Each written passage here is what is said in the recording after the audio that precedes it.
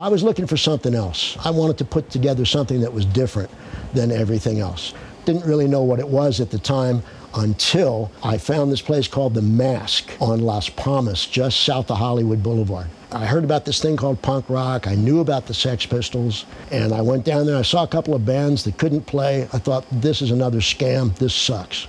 Then I went down another time and I saw the Screamers, Arthur J. and the Gold Cups, the Weirdos, and a couple of other bands, and I saw the audience reaction to that, and I said, I want to put my band in front of that audience. That's an audience that's paying attention, that's healthy, and that's responding to what the musicians are doing on the stage. I see Black Randy in the Metrosquad. He goes,